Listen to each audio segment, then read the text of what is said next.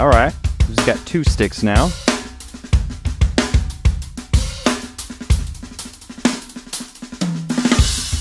Ooh. That was good.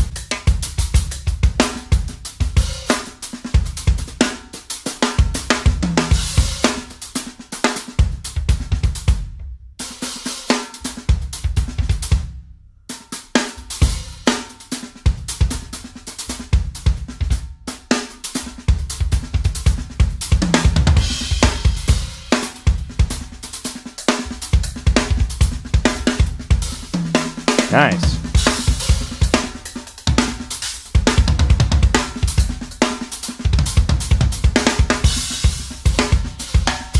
Hmm. By the way, if you like this content, make sure to like and subscribe.